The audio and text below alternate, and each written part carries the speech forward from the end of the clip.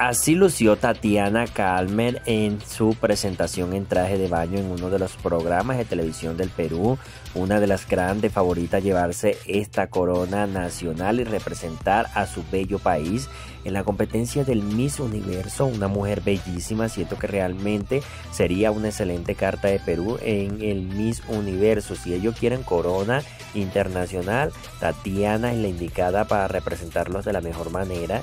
Ella podría traerle esa corona muy fácilmente, no solamente por su belleza, sino también por su inteligencia y por ese desparpajo que tiene en el escenario. Para mí es la mejor candidata que hay en esta competencia del Miss Perú 2024.